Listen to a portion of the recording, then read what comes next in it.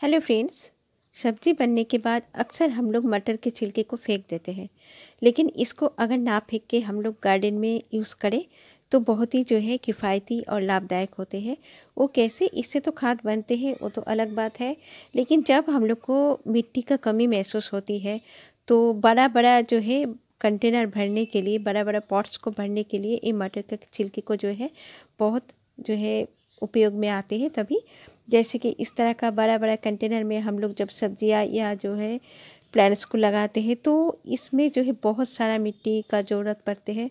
तो कभी कभी ऐसा होता है कि उतना ज़्यादा मिट्टी अवेलेबल होते नहीं है तो थोड़ा बहुत ही मिट्टी अवेलेबल होते हैं तो इस टाइम जो है, ये जो है, ये सब सब्ज़ी का छिलके को जो है काम आते हैं। तो पहले जो है थोड़ा सा मिट्टी हम इस पर जो है डाल देंगे, ये बड़ा सा कंटेनर में एक बड़ा सा करेट है, इसमें हम लगाएँगे जो है लंटना का प्लांट, जो कि बहुत ही बड़ा हो जाते हैं तो इसके लिए जो है बड़ा पॉट चाहिए होते हैं। और बहुत दिन से मैं सोच रही थी इसको रिपोर्टिंग करने के लिए, लेकिन ठंड के लिए नहीं हो पा रहा था, लेकिन फाइनली मैं आज सोच ही ली हूँ कि ये काम करना है, चाहे कितना भी ठंडा लगे। तो इसमें मैं थोड़ा सा पहले मिट्टी भर ली हूँ, उसके बाद जो है, और इससे पहले फ्रेंड्स कंटेनर को जो है चारों तरफ़ से मैं जो है एक प्लास्टिक लगा दिए हूँ।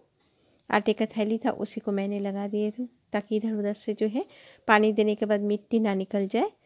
और थोड़ा सा मिट्टी देने के बाद जितना भी मेरे पास मटर के छिलके मैंने इकट्ठा किए थे तो सभी मैंने इस पर जो डाल दिए। और भी ज़्यादा होते तो और भी अच्छे होते।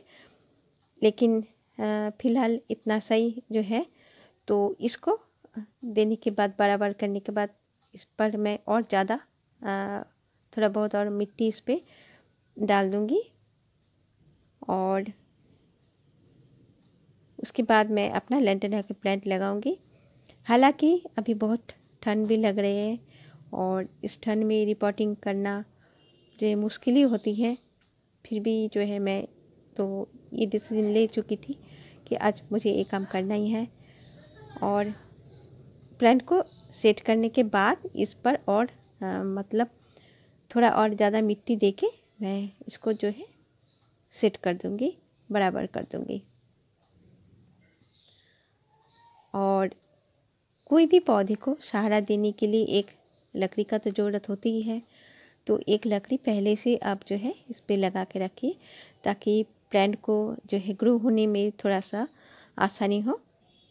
और उसके बाद मैं इसको मिट्टी देके और बराबर कर दूँगी। और धीरे धीरे ये जो छिलके जो मैंने डाले हैं, ये जो धीरे धीरे खाद बन जाएँगे और धीरे धीरे जो प्लांट्स को जो ग्रो होने में बहुत ही ज़्यादा मदद करेंगे। और इसके अलावा इस पर मैं और कोई भी फर्टिलाइज़र मैं देने वाली नहीं हूँ। और इससे ही जो है, खाद मेरा जो है इस प्लांट के लिए बन के तैयार हो जाएगा अपने आप। तो मैंने दे दी हूँ। मिट्टी को बराबर कर दी और ऐसे भी फ्रेंड्स लेंटेना प्लांट पे बहुत ज़्यादा जो है देखभाल और खाद का ज़रूरत नहीं पड़ते हैं। जितना सा मैं जो है दिए हूँ, उतना ही जो है काफ़ी हो जाएगा इस प्लांट के लिए।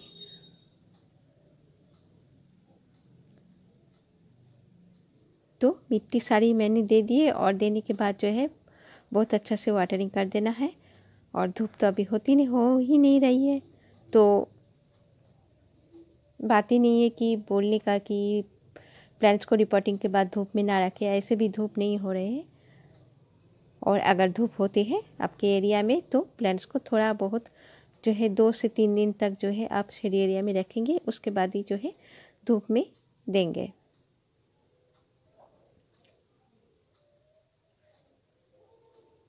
और फिर अगर बात कर लेते हैं वाटरिंग का तो जब भी आप वाटरिंग करेंगे कोई भी प्लांट्स को, खास करके जब बड़ा सा कंटेनर में लगा होता है तो बहुत ज़्यादा जो है चेक करने का ज़रूरत होती है मिट्टी को। बहुत ज़्यादा मिट्टी जब सूख जाए, ऊपर से एक से दो इंची तक मिट्टी जब सूख जाए, तभी जो आप वाटरिंग करेंगे। नहीं तो ये नीचे से जो है जड़े गलने लगते हैं और आपका प्लांट्स को भी ख़राब कर सकते हैं। तो हो गया मेरा ये रेडी